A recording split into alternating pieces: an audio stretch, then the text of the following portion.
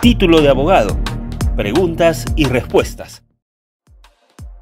Díganos, señorita bachiller, ¿por qué se adjetiva proceso con debido? ¿Cuál es el fundamento de utilizar el término debido proceso? Efectivamente, doctor. En un principio se entendería que bastaría mencionar solo proceso y está entendido que debe ser debido.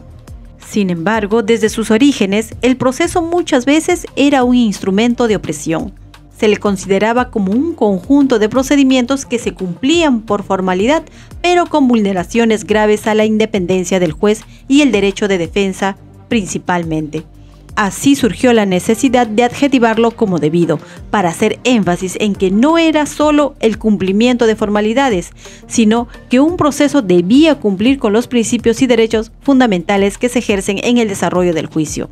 De ahí el uso generalizado de debido proceso. Titúlate con EGACAL. Gracias por acompañarnos. Suscríbete y comparte. Juntos alcanzamos tus sueños profesionales.